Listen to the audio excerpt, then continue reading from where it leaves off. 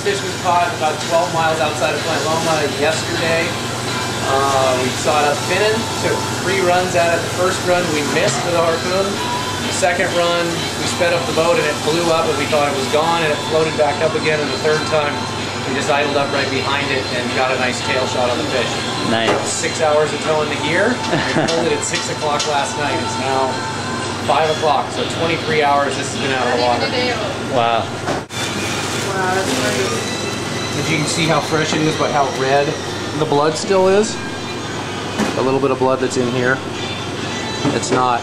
See how red that is? Mm-hmm. We've got. So this is the, the harpoon hole. This is the yeah. So from the out from the outside, Oh my gosh. that's that's where we drilled them. so you're standing on a big tower and You're you're, standing on a plank. and you, is it like just propelled with your arm or is Yeah. it wa- is it No, it's by hand.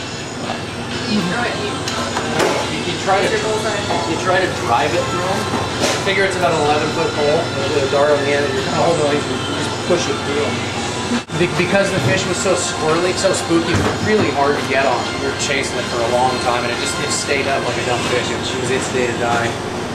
But he got we got close enough to get a decent shot at it, we took it. It didn't matter where we hit it. As long as we got the dart through it, so we didn't kill it. You know, and then he got it and actually lodged it in the backbone and stayed good. And then you follow it and pull it up. Yeah, you put.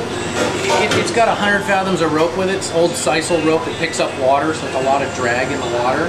Then it's got buoys and a flag. So you just let it swim off until it dies.